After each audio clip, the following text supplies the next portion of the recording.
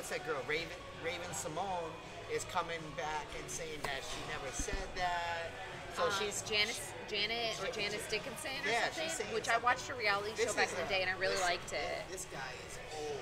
I mean, I watch his stand-up comedy. I mean, he talks about you know funny stuff. I don't think he's talking about any of that. I don't even think he would do any of that. I don't know. I haven't really been into like the. sweet little old man. Those are the ones you gotta watch.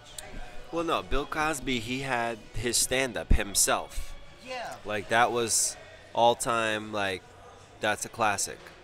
Like, that's one of the best stand up routines. He didn't say one curse word in the Of whole. course, Of course. He's got a repetition, uh, re- reputation to protect, but what happened now?